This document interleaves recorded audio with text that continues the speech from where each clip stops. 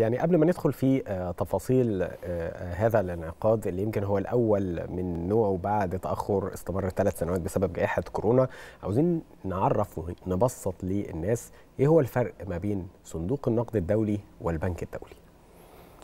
بسم الله الرحمن الرحيم. اولا صندوق النقد الدولي والبنك الدولي هي مؤسسات تمويل دولية. م.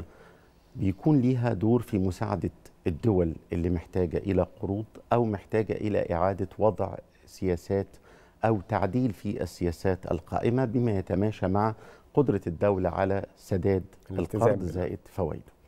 طبعا البنك الدولي مؤسسة مالية كبرى بتدعم الدول سواء كانت دول نامية أو حتى دول متقدمة بتحتاج إلى اقتراض.